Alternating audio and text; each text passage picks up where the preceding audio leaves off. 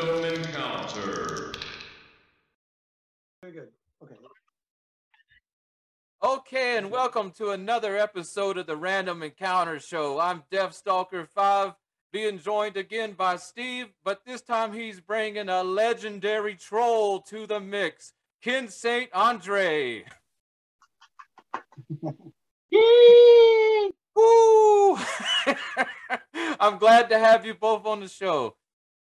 Happy to be here. Yeah, I'm here. All right, what are we going to talk about today, Steve? Well, we thought uh, you haven't interviewed Ken yet, so I thought uh, you could start by interviewing Ken for a bit, and then uh, you know once you get the basics, we can then uh, we can talk about the Kickstarter, I suppose. I've got some art to show you guys. We can and and that relates to what some differences that we have between this book and some of the previous things Ken's worked on. So that was my that was my thoughts. Excellent. And uh, Ken needs no introduction, so I'm going to let him introduce himself. You got a, a multi award winning author, first RPG generation author in front of you here. So let's let him talk. Okay, well, I uh, really love the Chevy Chase introduction uh, from Saturday Night Live. Hello, it's Saturday Night Live, only it's really Thursday afternoon live. Um, I'm Ken St. Andre, and you're not. uh, Chevy Chase did that first, and he did it well. Um, do you know the classic origin of Tunnels and Trolls story? Tell us. Yeah, let's hear. All right. Rick Loomis, who is the uh, central point of all Arizona gaming, uh, he started everything, or he was involved in everything. Uh, and we all sprang out from Rick Loomis's uh, desire not to have to work during life, but to just run game companies and play games for uh, the last 50 years of his life after he got out of the army. One way or the other, yes. So um, we knew each other back in the day because uh, Terry Ballard and I started the first Phoenix Science Fiction Club. And all the great science fiction conventions and stuff that you see running in Phoenix today happened because Terry and I organized the science fictional group uh, to meet on Friday nights uh, way back at the dawn of time. Part of that group was Rick Loomis. And Rick Loomis had, had, had games at his house on Friday nights. So um, I would frequently go to those. I had been hearing about a new game called Dungeons and Dragons. It sounded like my kind of thing. I loved Conan, Tarzan, Fritz Leiber, the Grey Mouser, and Fafhrd. I know more about swords and sorcery than anybody else in the country now that uh, Lin Carter is dead. but uh, so it sounded like my kind of thing. I had to see it. Didn't exist in Phoenix. One night I went to play games at Rick's house. Uh, generally, we would be playing Risk. And I got there too late. The game was full and was going strong. But somebody, I can't remember who, had brought along his first white box edition of Dungeons and Dragons. I sat down. I started reading it. Uh, I read it for about two hours. I skimmed through the bo boring parts.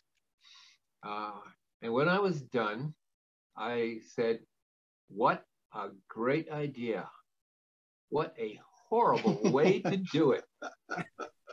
I will make my own game, a game I can play, a game that makes sense. And I went home and I created Tunnels and Trolls. Yeah. And uh, let's remind the audience uh, what year was that? Was that 74 or 75? It was 1975, about April of 1975. Dungeons and Dragons first started being heard of around the country around November or December of 1974.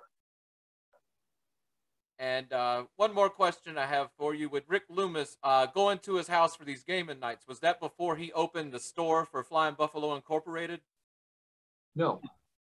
Well, hard to say. Flying Buffalo was a company already. Right. Rick had stores at various times during his career. Sometimes there was a store, sometimes there wasn't. It was never a continuous thing. I don't think he had a store then, though. I don't think he had it then Yeah. either. I don't think he Um, had that. So no, it was it was really pretty early. You know, it was Uh, 1975. Right. So, you know, just in case anybody's wondering, uh, most everybody in the world that I know of credits Ken St. Andre and Tunnels and Trolls as being the second role playing game in the world to exist. We're number two, and we try harder. Maybe not to exist. I, I'm a was a librarian. And I'm a Oh, well, let's just say to be published then. to be published. There is a difference between existing and being published. True. Yeah, that's Sure. true. I Because beat A.R. Barker and Empire of the Petal Throne into publication by about a month. Yeah, and you know, to be fair, Dungeons and Dragons wasn't technically the first role-playing game to exist. It came from a game called The Braunsteins from what was it, Chicago, I believe. If you've studied anything about the history, but I don't know. Never heard of them. Dungeons and Dragons was basically miniatures. Sure. Uh, played around Castle Greyhawk with Dave Arneson and his group. Uh, and the whole point was to play miniatures. You move your little soldiers and your troops around. Sure, it, it evolved from the chainmail rules. It was uh, chainmail was rules that they developed to do medieval miniatures. Right. Uh, when I was in high school back in 1967, I was playing uh, toy soldiers miniatures with my friend Mike Waters.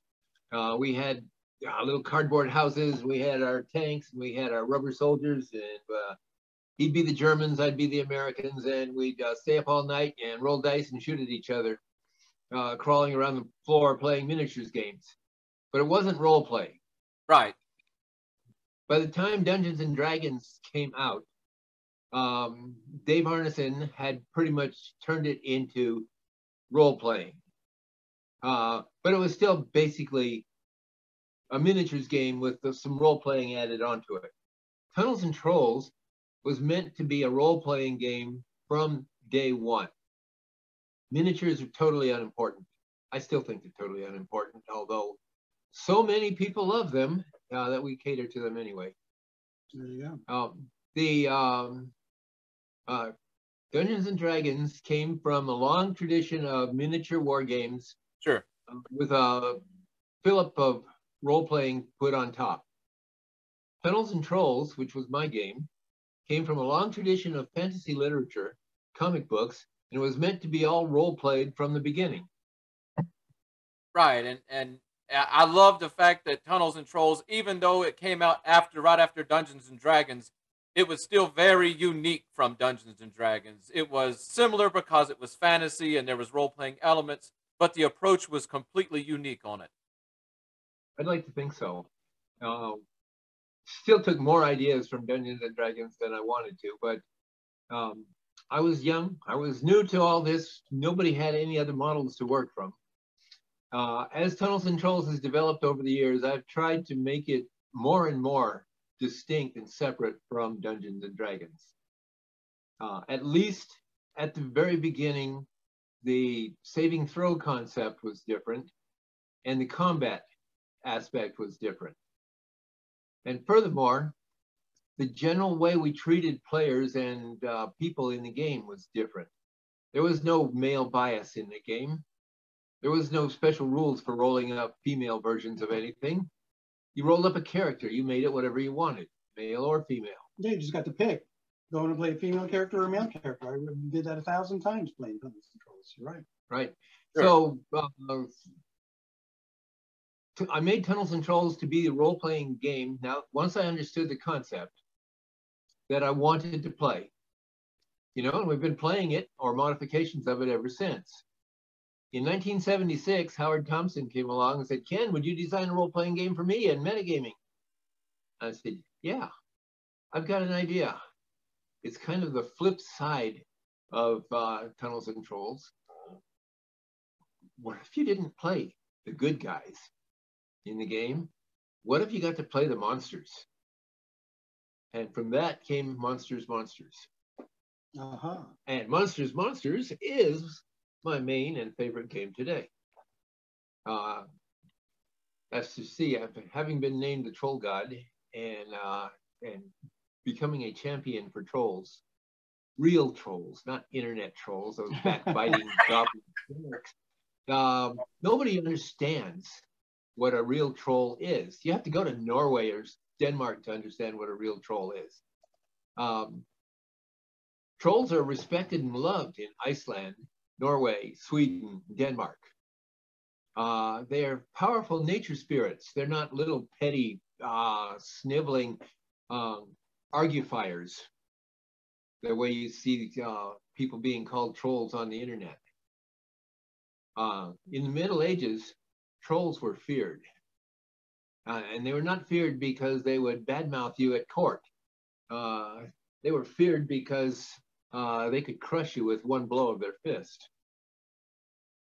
So, trolls should be respected and feared, not uh, belittled and uh, niggled.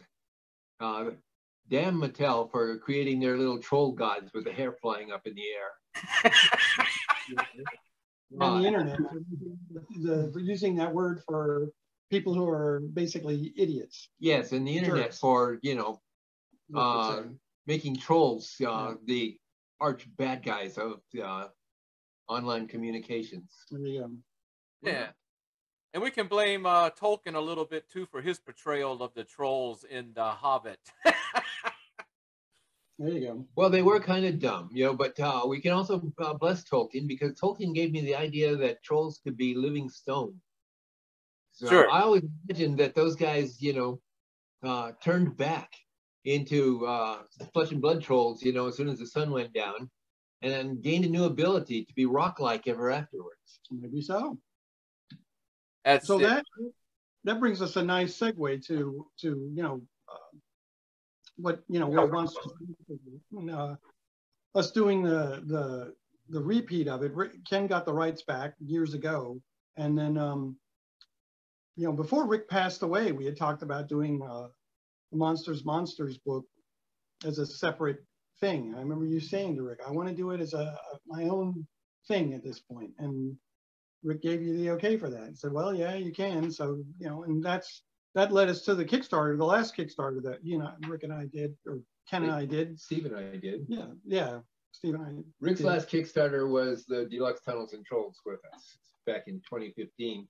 He might have done a one for nuclear war or something afterwards. Yeah, he did that. He was he was involved with the Mercenary Spies and Private Eyes one at the beginning too, but then he got too ill to finish it. So sure. that was when I started. I kind of took over running that, making sure it all got done. But Rick Rick started all the, that last Kickstarter. Um, anyway, so as probably most of you know, we're now got a new Kickstarter going, which is the one for, uh, which I talked about previously in my interview with uh, Deathstalker, and that's the, the Monsterary of Zimrala. So, uh, Ken, do you want to tell them where that idea came from and what you, you know? It's, it's because uh, Steve and certain other fans are just never satisfied.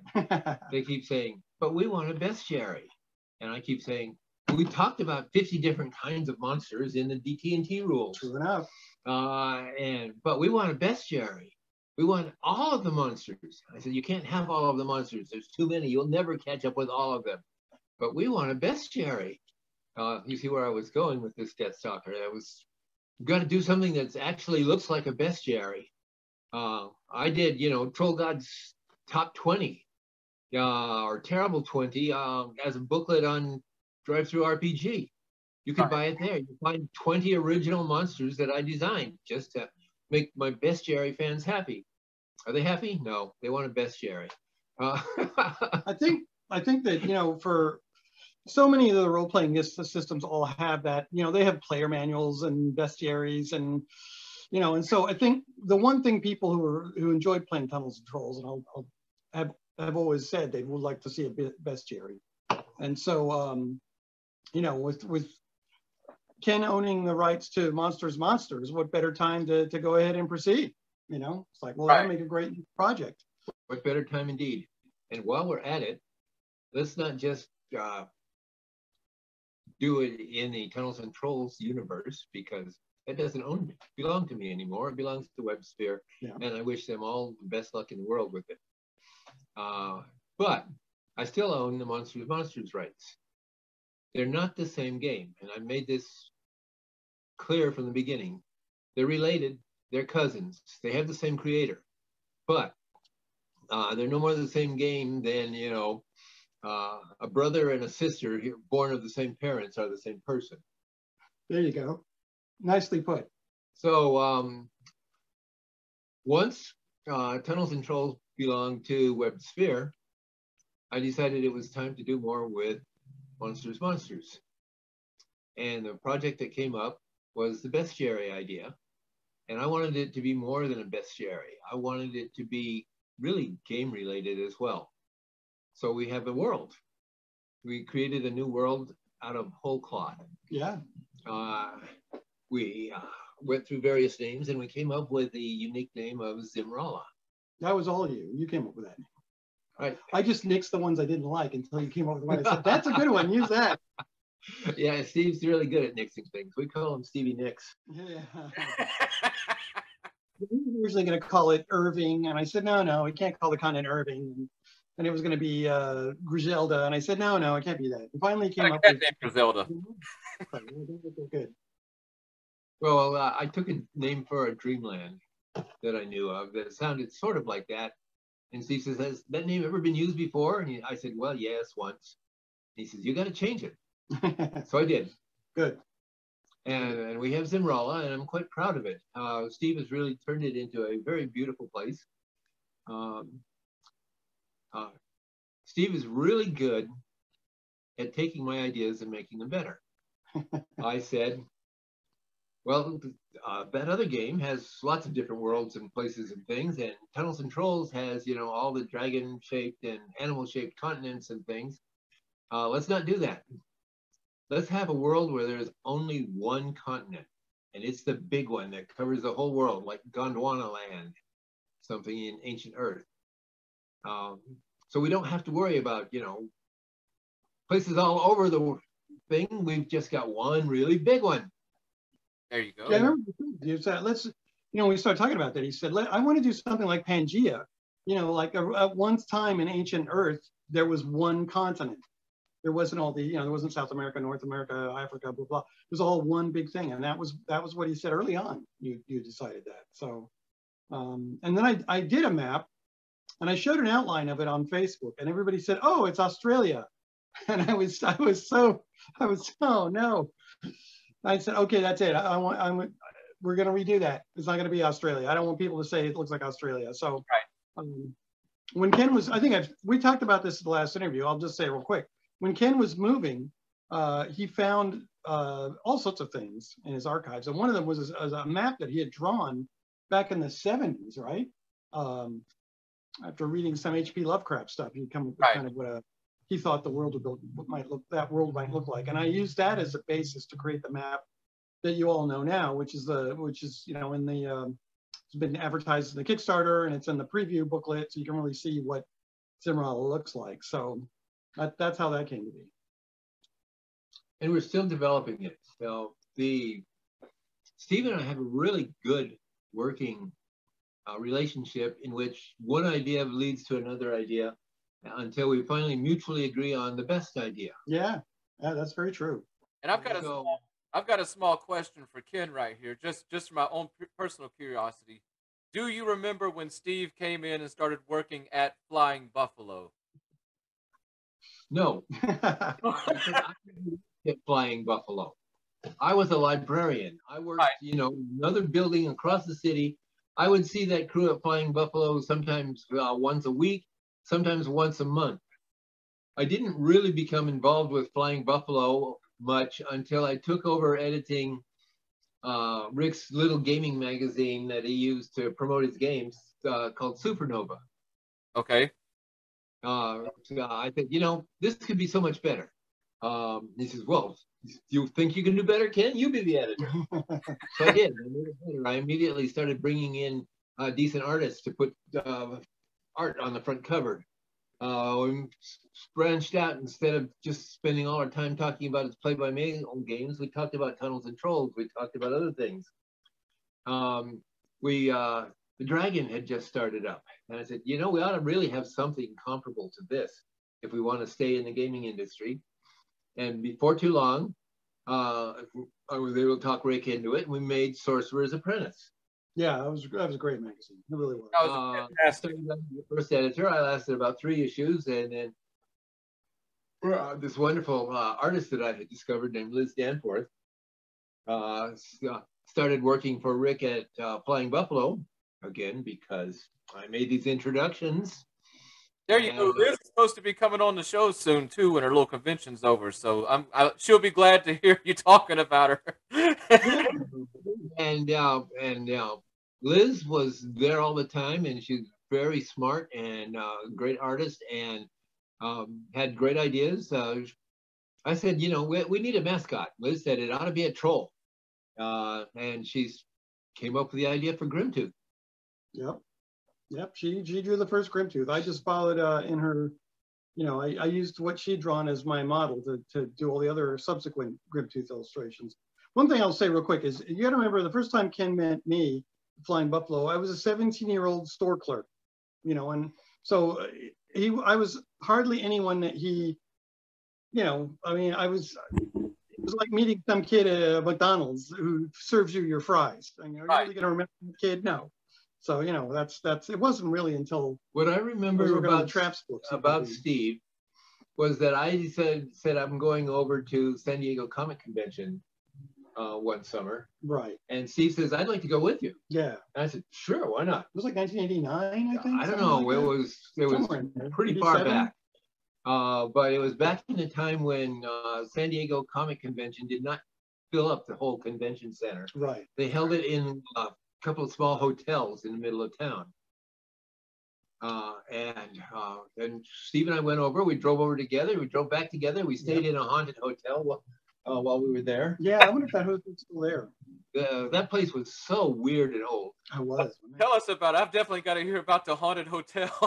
I think it was called the Hotel San Diego. It was really old. It had been built in the, I think it'd been there since the, you know, early 1900s, but they had expanded on it.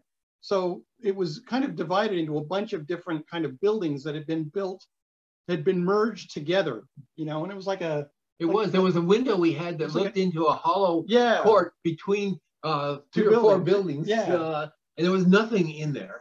It was There- very there- old. it wasn't a it wasn't a food court or anything down at the No. bottom. It was just an air hole in the middle of these Yeah. uh, hotel multi-story hotel buildings in the heart of San Diego. It looked like, like I say, it looked like uh, inside you you're walking around. It would it felt like you're walking around in a building from the 1920s. You know, uh, Oh. it had that, vibe. and there, there Oh. was stories that there was ghosts in various rooms, and people have been killed and all that stuff, and which is common with any old hotel. You start getting those kind of stories, but uh, yeah, that was that was wild. Sounds like the shadow over Innsmouth. Not over San Diego. anyway, so um, Yeah, we'll jump back on to Zimrala. Let me uh, congratulate both of you. Uh, I haven't done so, I don't know why, but your Kickstarter has funded and has continued to grow. It that's right. We should shake hands here. Do that officially. There we go. Yes, it worked. It worked. We funded, which is really really wonderful news, and uh, we're very happy to happy to have made that made that uh, got there. You know, that, that takes a lot of pressure off when you see that finally happen. Sure. we had a lot of fun. It was a lot of fun actually. Uh, we we very quickly put together. We got the idea for the uh, the preview booklet when we realized we were getting close. We said, you know, we ought to do. Let's let's let the preview booklet be something we give to everybody when when we reach our goal. And we reached the goal faster than we could get the preview book done. But we managed to pull it off and get it out to everybody just in time. So. Uh, Well, the preview book is on Drive Through RPG. I've grabbed a copy of it. It looks awesome. Uh, but I got to know who listed it for $22,000 and marked it down to zero. I thought that was hilarious.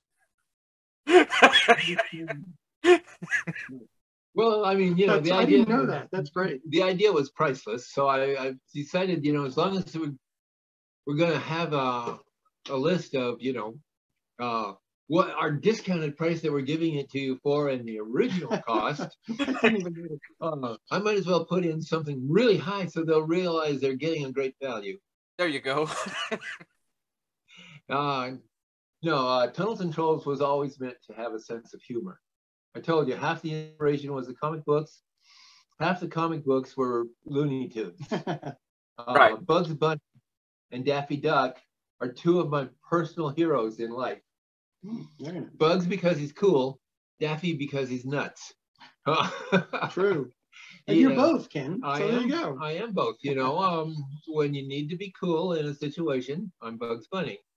When you need somebody to come up with a wild inspiration or just to go off at a party to make a distraction so everybody else can escape, I can do that too. Uh. I even surprise my friends once in a while. Do you remember the night uh, you guys told me, Ken, you shouldn't get so excited and so upset about things? Oh, and the hell out uh, and I scared ever do that again. I scared the table out of their underwear, you know, by showing them you haven't seen me No, angry yet. And then I showed them what I would look like if I was It's angry. like the Hulk. Uh, Like a troll, maybe. fell out of their chairs. Anyway, So, uh, but yeah, that's the kind of person I am. You know, I'm I have a lot of ideas. A lot of them never fly. You'll probably never know about the wonderful Saint Andre game invention ideas that uh, I could never provi- convince anybody to do with me. fungus and fruit bat, Fungus and fruit bat.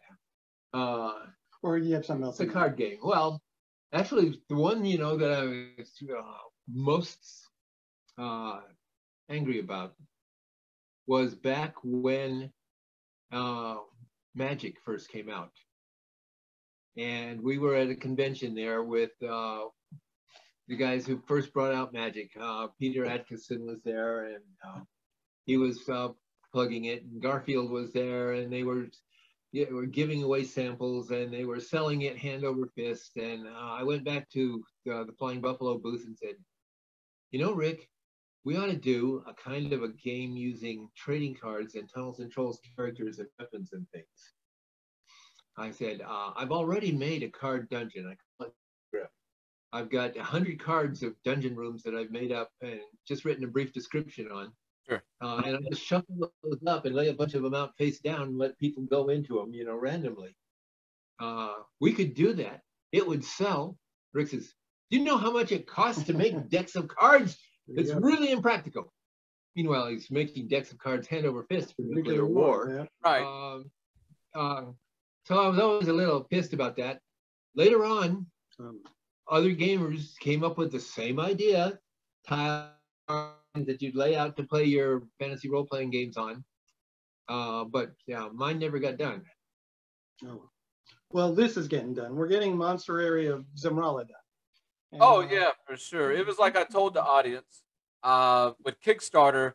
I don't do Kickstarter a lot, but I know you two, and you have you you've just done spectacular Kickstarters, and I don't know anybody who was not be just over the moon from what they got out of it. Oh, I'm glad to hear it. Glad to hear it.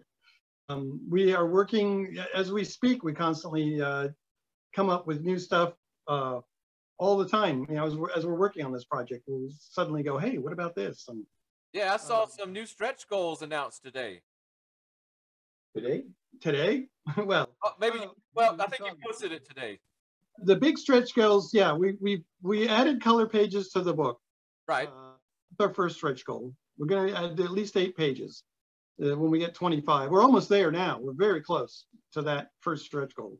On the second one, we left it up to the, the fans and uh, they're voting on in the comments section and up- update number six, I think it is.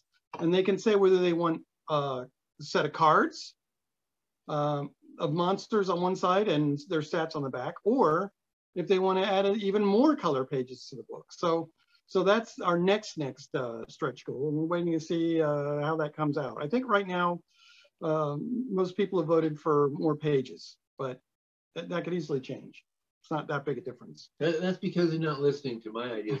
Yeah, go for the cards, guys. Great for solo play. um, Uh-huh. Yeah, that's true. Um, my Steve hasn't heard this yet, uh, but I want to have you know uh, a video featuring um, all of our humanoid kindreds uh, doing uh, uh, dancing. Uh, I want dancing, Dancing? goblin girls, dancing elves, uh, dancing trolls. Uh, These would be cards. What would these be? What do you mean? it's a video. We'll get Michael Henson to do the video for it, and we will uh, animate uh, these things, and it won't cost us anything more to produce it. We'll just pay him for making a video one time, and we'll have a great video that we can show people of, you know, how much fun it is to uh, go adventuring on Zimrala. You keep drifting that way, so I have to keep moving the camera. Uh, I, I can still see myself in it. I know, but I'm trying to get. Are you good? Uh, but you know, I have a feeling this is another one of my ideas that's not going to get uh, funded here. Well, you have a dancing demoness. That, We- that's we- one of the and that's a start. that was a you start. know. That's a start. We've got a There you go. dancing demoness. Now let's have uh, dancing uh, bull girls. Bull girl?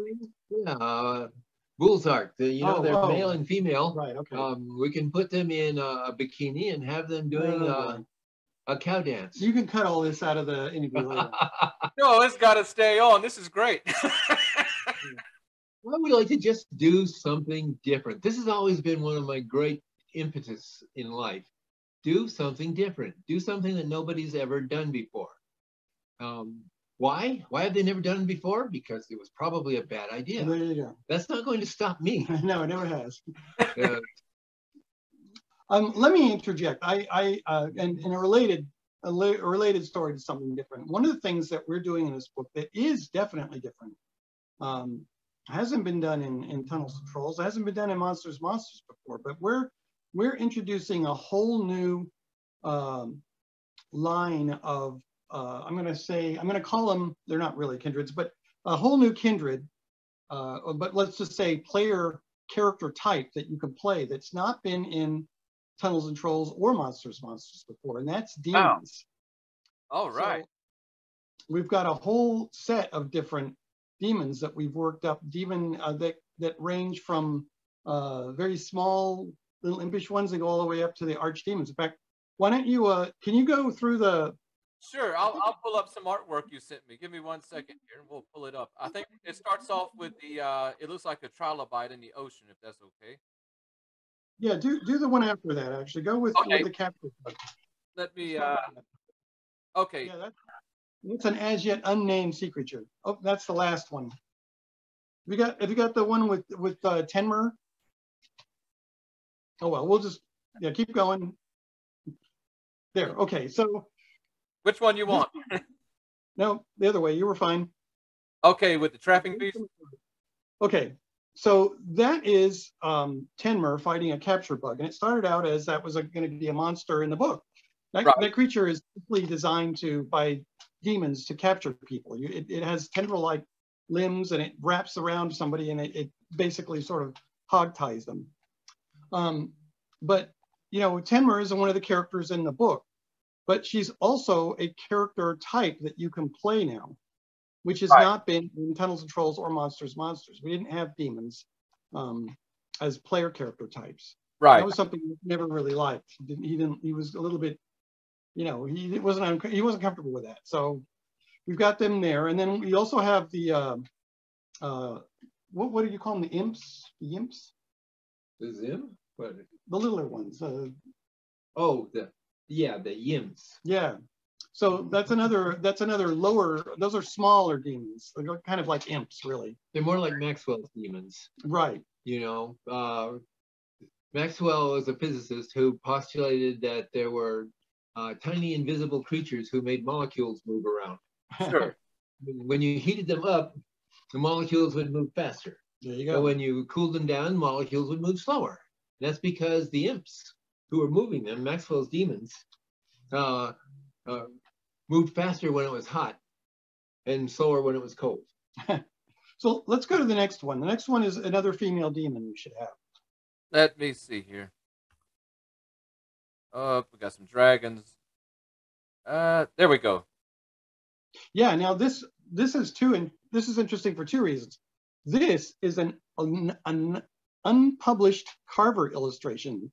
Rob Carver did this illustration back in like 1977, Right. and it's never been published. And so, with his permission, I took it and I toned it, and I made the female character a demoness. Um, so she is she is the same type of character as Tenmer, effectively, but that's just uh, shows you the range of what a female demoness might look like.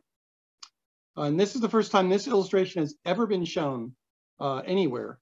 Um, and it's, it's, it's something that Ken found in his archives. It was an illustration, and I said, oh, that's beautiful, we gotta use it. And uh, behind her, of course, is one of the Zimralian portals. So she's probably a guard. So that's another type character type you could play. So let's go to the next one. There should be one that shows a regular demon that says uh, hell froze over. Oh, well. Oh, I know where that's at. There we go. Yeah, now this is another exclusive. This is an illustration of Liz Danforth that we're using in the book. And uh, this is an interesting history. This was originally, Liz drew this as a t-shirt design for the Monsters Monsters t-shirt.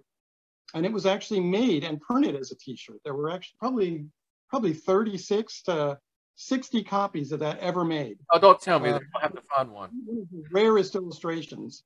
Um, we got her permission to use this, and it is uh, is one of the furnished pieces to show uh, a demon. And the idea of Hell's Frozen Over is because now we have demons that you could play in in uh, you know one of the Tunnels and Trolls related games, Monsters Monsters. So uh, you'll see the full illustration in the book. This is just a little bit of it. So there you go. It's the head. Another exclusive. Yeah. And then, then the next one if you want, which is uh, the Archdemon. Uh, Archdemon. Here we go. That's- Nope. there. So that's an archdemon. That's an upper, uh, that's one of the higher level demons you can play. Uh, very powerful, uh, very dangerous, um, extremely strong. I would be the equivalent of like a, it'd be like if rolling up a paragon type character, I suppose. You know, this is really, these are really powerful. For the uh, power gamers. yeah, for the power gamers. So they're very powerful, very dangerous. And these are characters that the GM can run against you, or you could conceivably even play a character like this. So And I wanted an Archie demon, you know, to go along with the Betty and Veronica demon. that's right. But, there you go. But, uh, but you know, somehow that's just not going to happen. and then one other picture I'd like to show is the one of the uh, the anticorn, the horse. So this has a really interesting uh, story. Um, Ken, tell them about the art that you found. You sent, you showed me, and I said, "Ooh, that makes me think of something." Um, I found uh, long, long ago, I did a lot of other things besides Tunnels and Trolls. One afternoon, um, after we'd sat around playing board games all afternoon, uh, my immediate circle of friends, Liz and Bear and Tommy Williams and uh, Rob Carver. Rob Carver. Uh, we were all playing board games one afternoon in Phoenix, and we were got to talking about Roger Zelazny's Amber series. And I said, you know, we could play that. I could run a game in which you know everybody took part of a, a prince or princess of Amber, and uh, we could have a game. And they immediately called me on it and said, "Oh, oh yeah, do it." so I did it. Um, and uh, Rob was our main artist at the time, Rob and Liz. And uh, Rob drew this crazy whacked out picture of a unicorn and showed it to me. Uh, and I used it to make a membership card for people who were joining the Amber game. Uh, and I totally forgot about it for 50 years. And then uh, I found it while I was moving and I showed it to Steve. And Steve says, I have something like that. yeah. Uh, I call it the anticorn. Um, and uh, we decided to put an anticorn in as uh, a demon of uh, a different variety. You know, demons don't all have to be humanoids. Yeah, the, the Anticorn is from my comic series, and um, he was uh, there was a character that was uh, you know he was an Anticorn, and basically it's you know he's bright red, and he has a horn, uh, and red glowing eyes or yellow glowing eyes, and he's basically the opposite of an of a unicorn. So. Uh, I don't know. I, I tried looking around. There's no such thing I could find. I'm sure there probably are hell horses or something. But anyway, Right. that's one of the creatures we're going to see in this book, and he will be really fun. This uh, Anticorn would actually make a really fun player character because you're an intelligent being with some magic ability and some strength, but you're basically trapped in a horse's body. So it, it would make a really fun character to play, uh, you know, in in, a, in an RPG. Sure, it reminds me of the Tunnels and Trolls Rogue, basically. You know, What do you mean? uh, that it can either, you know, it has uh, it has some magical ability, but not necessarily the full ability. But it also has some physical abilities as well. Kind of a rogue. True. Yeah, that's true. Yes, you're right. A rogue. Yes, you're absolutely right. So anyway, that'll be another really, and that's that's an example we were talking just a few minutes ago about how we work well together and how even now we're coming up with ideas. We just the Anticorn whole thing just came up about a week or so ago. Yeah. I mean, you know, so within that time, uh, we got some a really cool piece of art done, and Ken wrote up the description. I wrote a little bit of it, and Ken wrote up a description for it, and we made it and we put it in the preview book. Boom, just like that. And it's like, you know, it's another really cool creature character that you can play. So, I agree. okay, Yeah. I think that's it for the art for now. Uh, okay. If uh, let me get up here. And, So, if there's something want to anything. yeah. Right. anything else? We'll be. I can get right back to it. So, but yeah, I I, thought, it'd be fun- Hmm? I thought it'd be fun to show off some of the some of the new art and some things that hadn't been seen yet. Oh yeah, I, I really appreciate it. I know the audience will too because we have a whole lot of fans, you know, that watch here because uh, you've got out and put us into the tunnels and trolls community big time. So Yeah, we're we're trying to reach out to the old fans and the new fans at the same time. Since the books for any role playing system, uh, you know, we're we're hoping to catch a lot of other new players as well, who uh, see this book as a useful thing for whatever game they're playing, whether it's Dungeons Dragons, Pathfinder, or GURPS. So well, I fact I think the fact that you're putting so many brand new, unique monsters into the mix. You know, I, you don't see a lot of that with role playing games anymore. They're sort of just recycling the same things and maybe updating rules here and there. But uh, I'm very excited for it because I'm seeing stuff that nobody's ever seen before. that's great. That that's our goal, definitely. This is Steve's uh, obsession. now, when we started it, I was just going to go through all the list of monsters that we had done in uh, Tunnels and Trolls and uh, rewrite the descriptions a little bit. But uh, we very quickly got away from that because Steve was saying, we want to show them new things. We have a new world. We want to show them new monsters. And now it's getting really hard to put any of the old traditional ones in. One of the things we're doing in this Kickstarter is allowing uh, supporters to create their own monster type. Uh, Right. And they can create something new and original, or if they want something that's more traditional, because they paid to create their own monster type, we'll put that more traditional thing in. Yeah. Um, creatures come to Zimrala from all over the metaverse. Uh, they come from other universes, other worlds, other times, um, different places of the same world.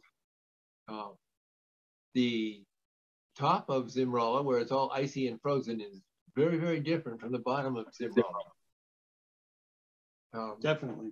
so um, the but there are things from all places and times. One of our guys uh, wanted to do a kind of a wolf troll.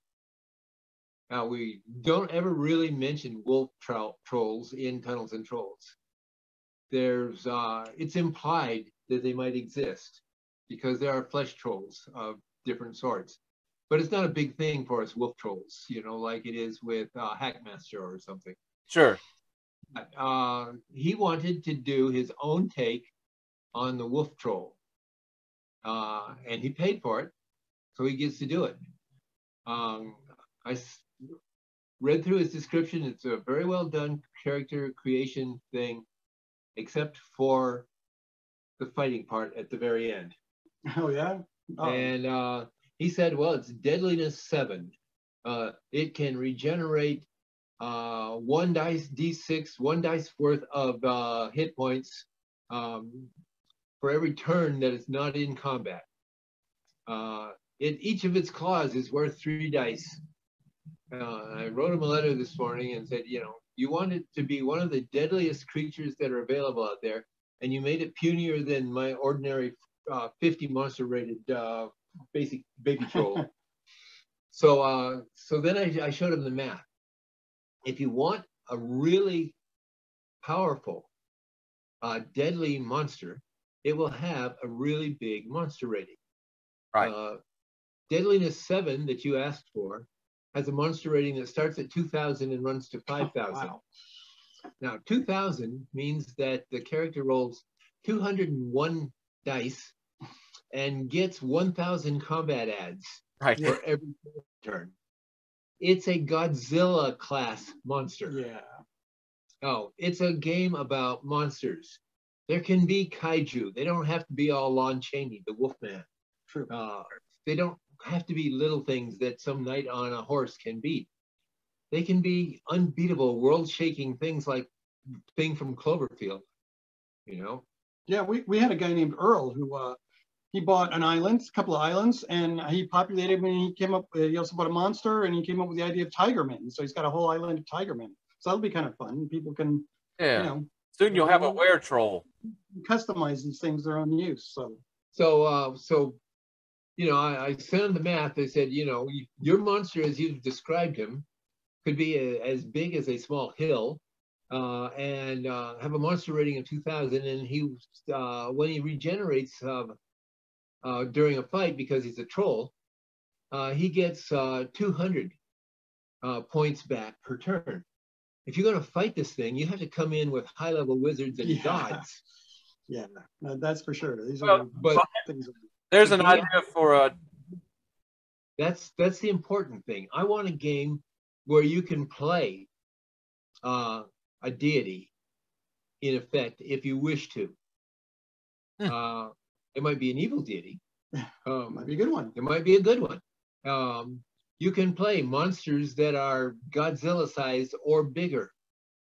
Uh, or you can play, you know, something the size of your cat.